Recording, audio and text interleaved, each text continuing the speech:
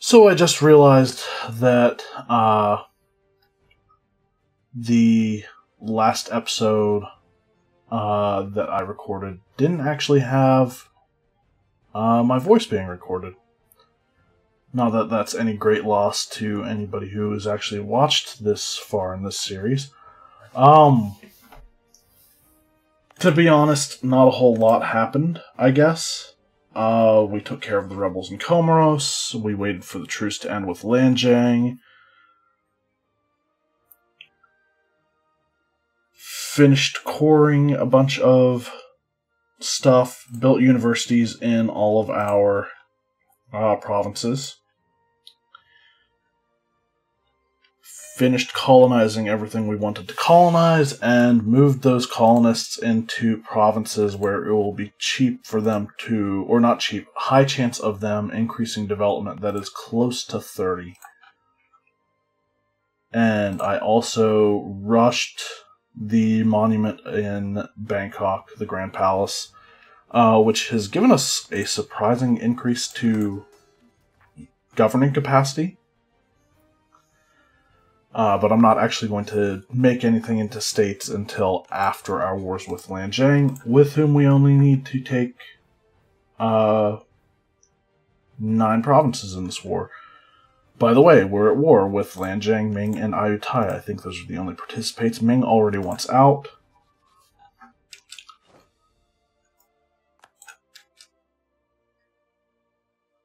Let's go ahead and do that.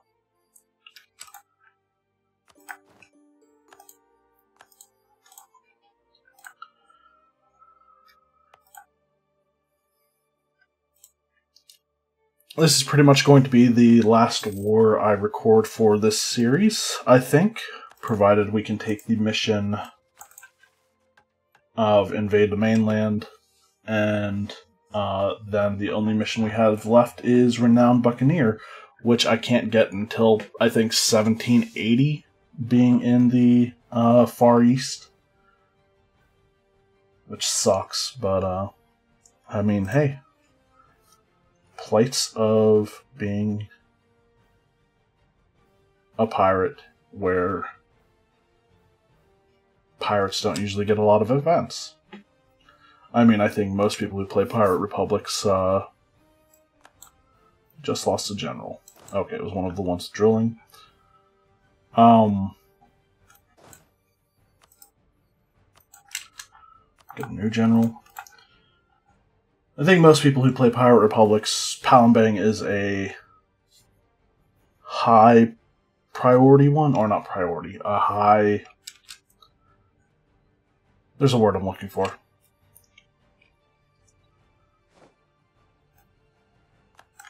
It's the easiest one to play, I think. Everything else you have to wait for events or start as Oris actually got central authority asserted from uh, court and country. What's the Pirate Republic here? So, I think that's who starts here as a Pirate Republic, or they become a Pirate Republic very quickly after the start of the game, similar to how uh, Palembang gets an event to do so.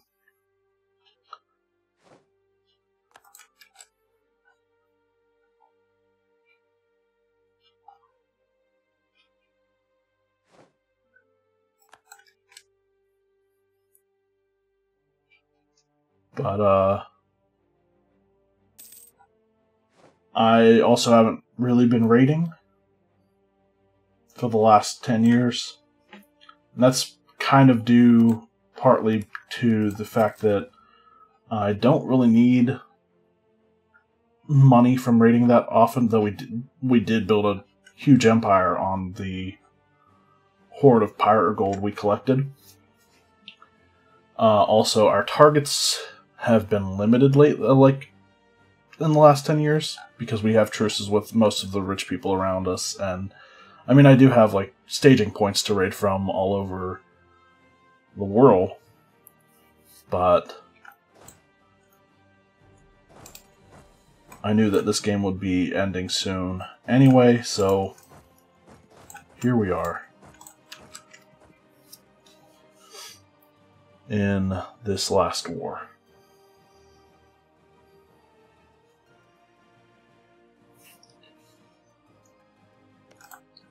Ming is out. Ayutthaya will want out soon. I don't know if I should take land from them or not. I do want to use this broken mechanic of rushing monuments.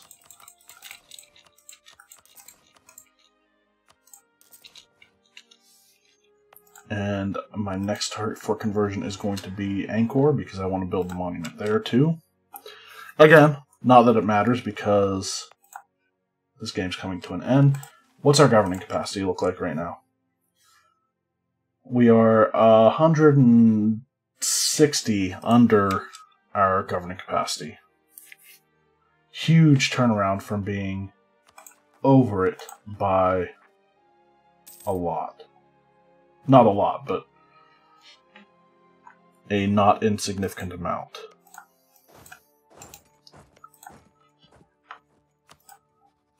Get Ayutthaya out of this war. I am not touching the Pegu separatist lands.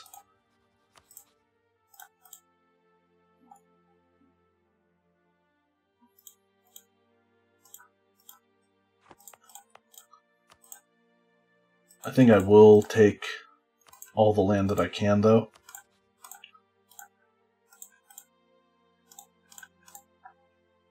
In these two coastal provinces.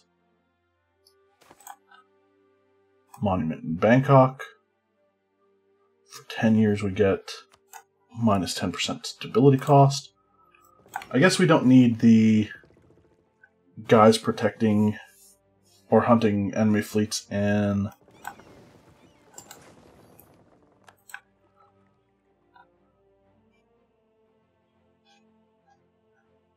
the east or the south, uh, the East China Sea.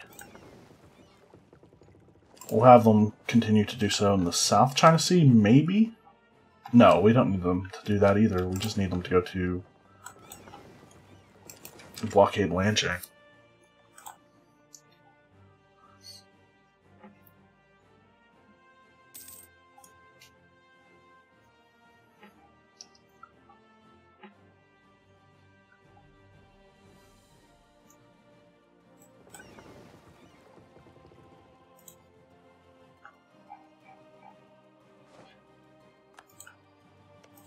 Vientiane is over.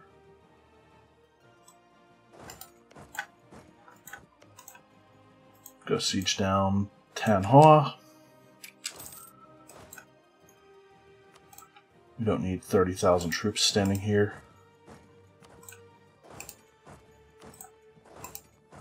We'll go occupy everything else, though. Lan Xang is on low enthusiasm. Ayutthaya.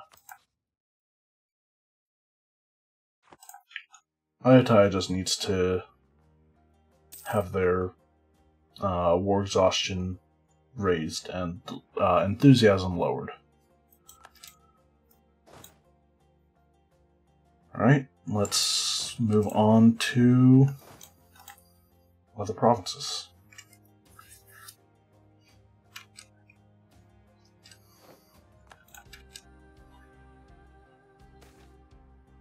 Local traders demand aid.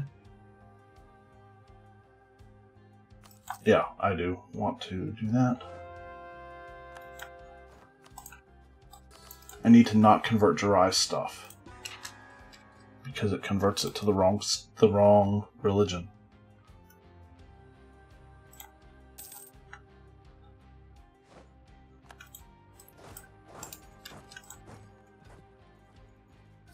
converts it to their religion, not mine.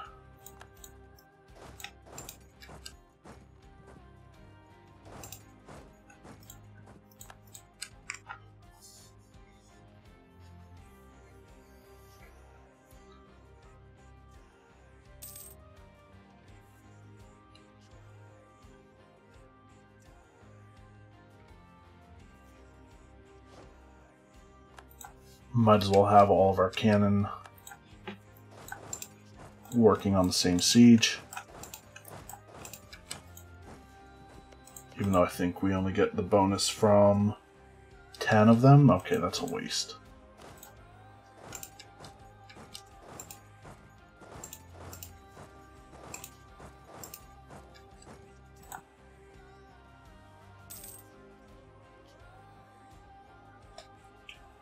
Already at 80% war score in this war. Great Britain sowed discontent on me.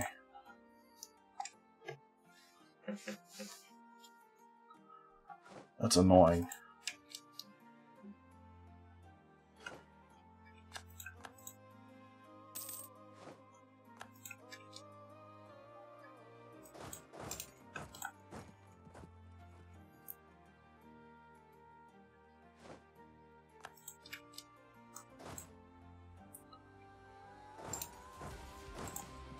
Why am I sending the further one to the furthest province?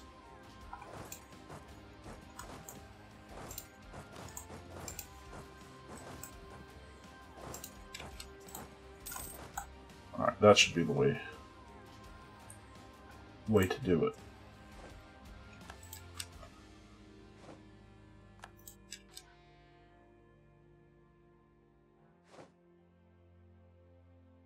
Lost the siege of Nanjing. Really? Guess that's what I get for not really defending it or paying attention to it. We have an election. Still keeping this guy.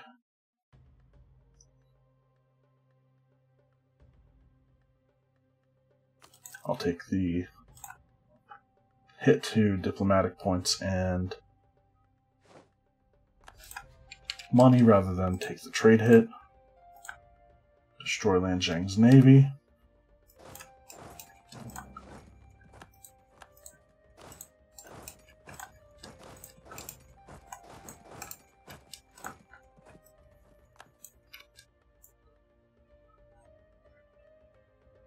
And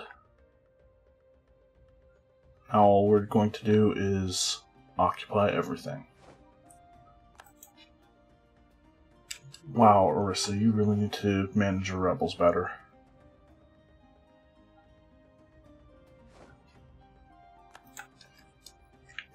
So yeah, Orissa had uh, Pegu separatists that spilled over into Ayutthaya. I'm being careful to not let these separatists be taken care of during this war because I want them to break free again so that I could possibly I mean again not really continuing the game past this point, other than waiting for my legendary admiral. But, uh,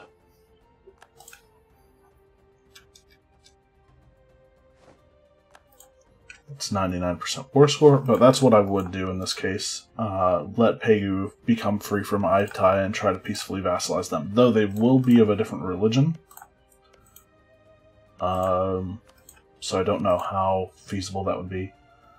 Really? They still won't? So we have to go and...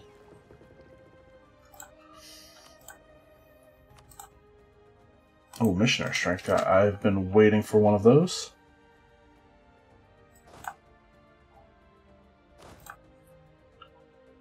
We'll go and retake Nanjing, I guess.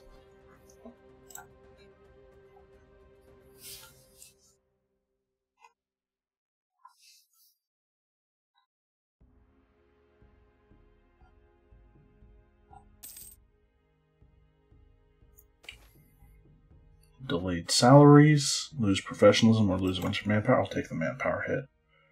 Oh wow, we completely depleted our manpower because of uh, us building that monument. Didn't realize it was that much, but apparently it was. 7,500 per click. Alright, well, guess now we let it build up.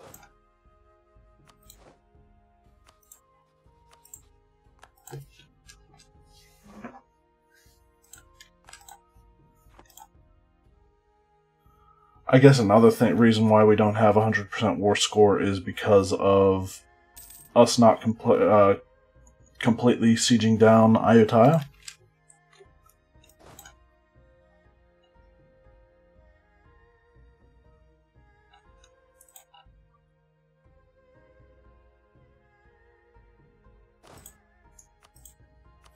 If they bring their army down to try to siege Canton, I am going to destroy them.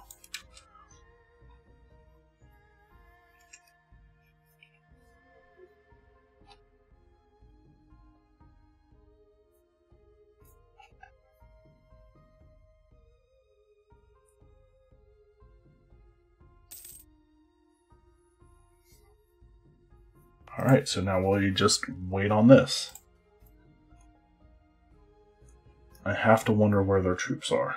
Or where they even want to. Are they just sitting up in the mountains in Ming? Nope, there's some Lan Xang troops.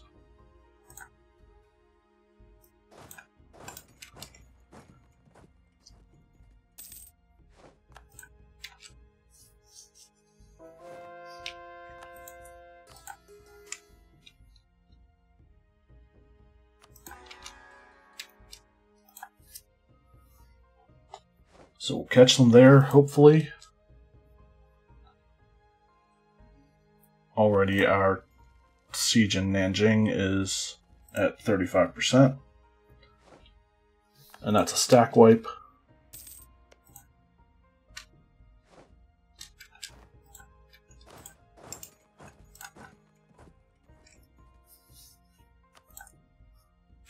Ayutthaya want out yet? Nope.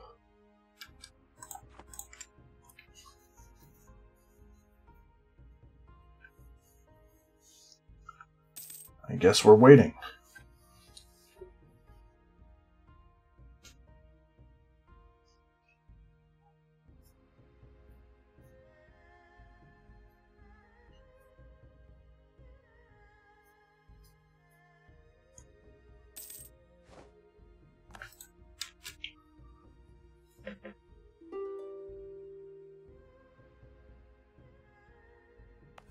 And this has gotten up to 71%.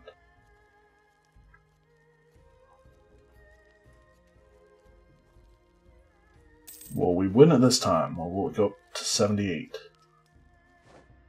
No, good. Now Manchu wants in.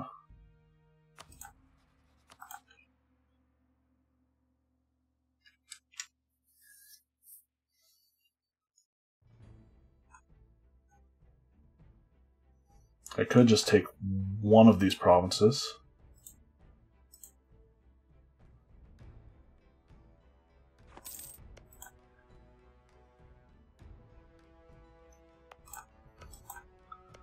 Is a very large state. 48 development there, 29 here.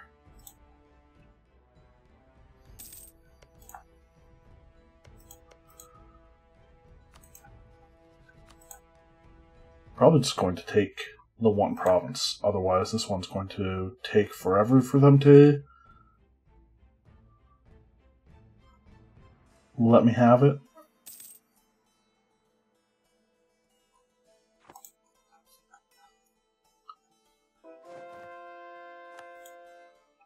Converted Angkor.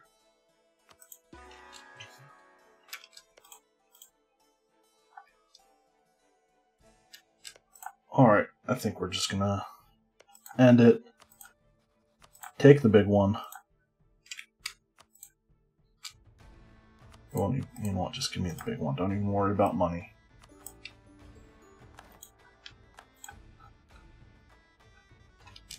We'll wait for our diplomat to get back.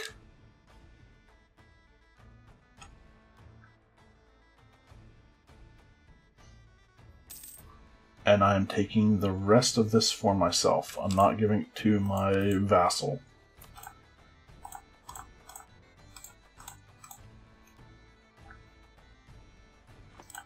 I prefer to take whole states if I can, or states that I have partial control of already.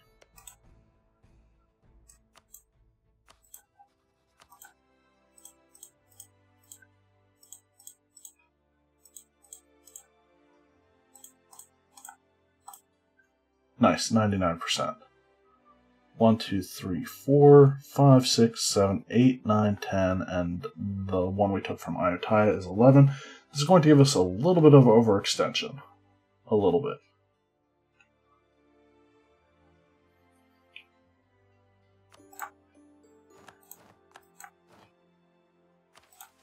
But we gain permanent claim on the Burma region and finish the second to last mission we need.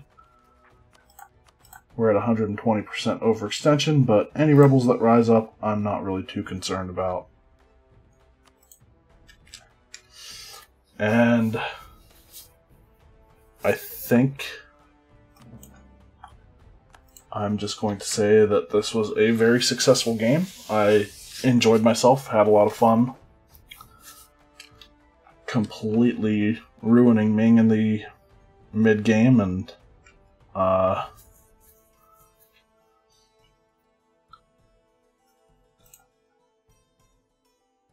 we'll see if we can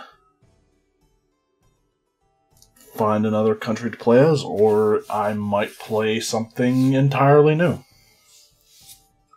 New to this channel, not new in the actual sense of the word.